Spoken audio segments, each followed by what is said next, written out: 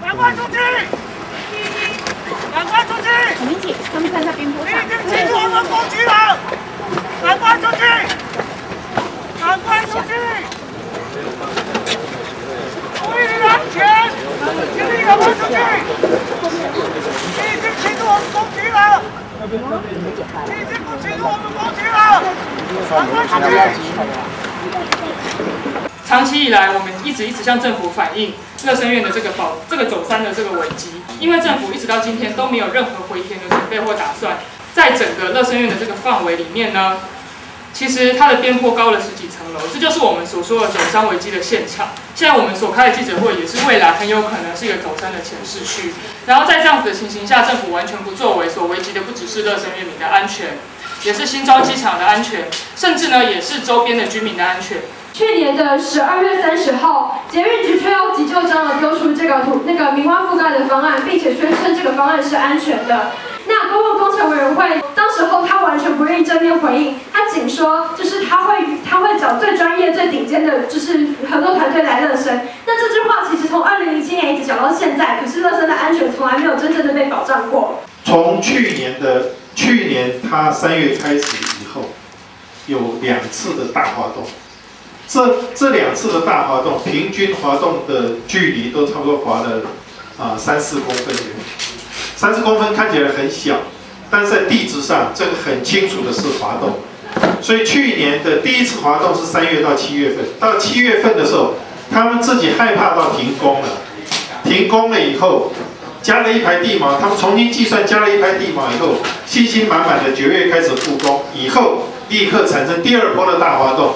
那个滑动又滑了四五公分，所以才有现在的十月底到现在的一段平静的日子。因为这一段应该是完全不会滑动的时间，这个地居然依照捷运局自己提供的监测资料，它还在滑动，就是从去年的十月底一直到现在，这个土地的滑动并没有停。并没有停止。那么我们知道，梅雨季快来了，台风季快来了，这个是下雨的问题。一下雨，地下水一升高，它的滑动就会加剧。所以如果有连续的大雨，大到某个程度的时候，这个地可能就会整个滑下来。第二个大地震，我们前几天才听到，印尼那边又发生八点几级的大地震。前一阵子，在十月底、十一月初的时候，检疫局自己承认，他现在的设计是承担不了四级的。那么，其实根据我的了解，现在三级都扛不了。要请各位媒体朋友，就是跟我们一起往上，然后来到乐生院的土地公的这个部分，就是我们刚刚会长所说的，我们要一起在那边正式的祭拜土地公，宣布我们开始自力回填。虽然说大家可能觉得自我们能做的自力回填只有小小的一部分，但是这个小小的一部分，对这整体的工地也是一个开工。我们以非常慎重的心情来面对这件事情。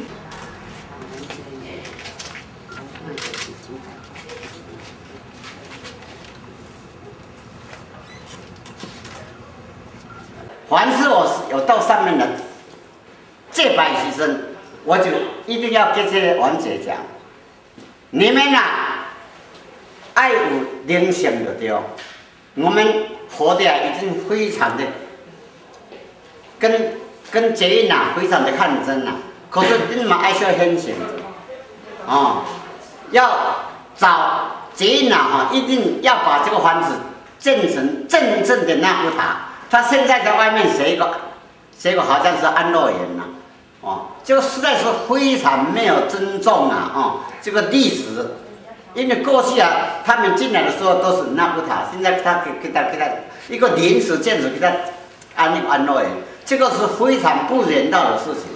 我们不得已以自己双手的力量，想要去做这个回填的动作。今天是以我们的双手，未来我们有机具，我们不排除以重机具进来工地施工的可能。那这个过程里面，其实可能会有很多很多的波折。希望土地公保佑我们是一个平安顺利，尤其是乐生院整体的三部分地址都是一个平安跟顺利的一个状态。今天我们手上拿的是我们自己土地的土，不是捷运局的土。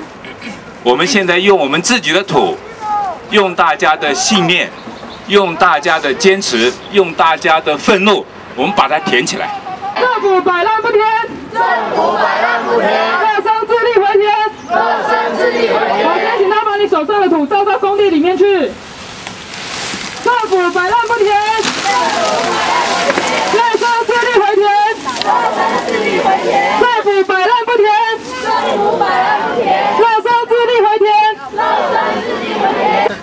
之后呢，我们再集合到蓬莱社，请各位有意愿一起跟我们参加反走山的朋友，我们有接下来有好几个反走山的计划，还有土方回填的计划，想邀请大家一起参与。那请大家先把我们麻布袋里面的大麻布袋里面的土全部都填完，谢谢大家。快没了。